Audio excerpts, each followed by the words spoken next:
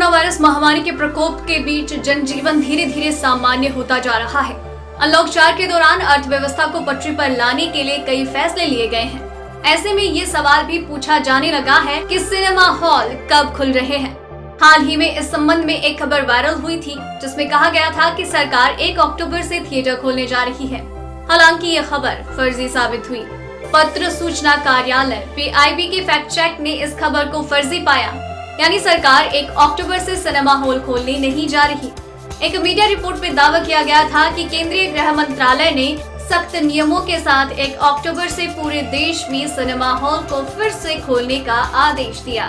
PIB fact check ने अपने आधिकारिक ट्विटर हैंडल पर स्पष्ट किया है कि सरकार की तरफ़ से ऐसा कोई भी आदेश नहीं दिया गया। अपने ट्वीट में पीआईबी ने लिखा है, ऐसा दावा किया जा रहा था कि गृह मंत्रालय ने कड़े नियमों के साथ एक अक्टूबर से सिनेमा हॉल फिर से खोलने का आदेश दे दिया। हमारी पड़ताल में ये दावा झूठा साबित हुआ।